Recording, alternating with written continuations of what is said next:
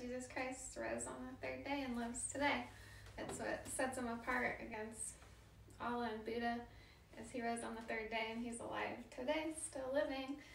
So, if you haven't trusted in your Lord and Savior Jesus Christ, Easter would be a great day to do that.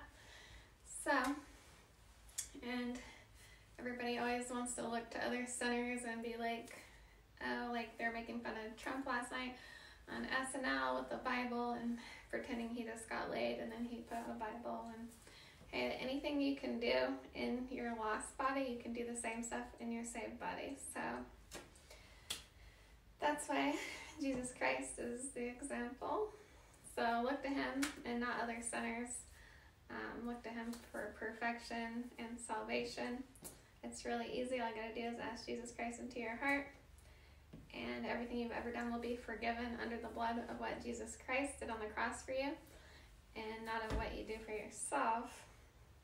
So thank you so much for your follows. Um, I did, um, I appreciate all the follows on TikTok. I had hundreds of thousands of follows and likes, but I did delete TikTok. Um, I just felt like 3.30 in the morning, like God didn't want me to have it. Not that there's anything wrong with it, but for some reason, um, I was convicted about not having it, so I deleted TikTok and Snapchat. But I do still have um, Instagram. I always love Skittles if you need to get a hold of me. And um, you can also catch me April 18th at Stir Crazy Comedy in Glendale, Arizona.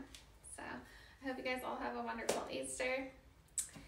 And like I said, if you hasn't been a day that you trusted in Jesus Christ, why not Resurrection Sunday? Be easy to remember. So, thank you so much for your follows. Hope you guys have a fantastic Easter. And I'll see you on April 18th at Circuit.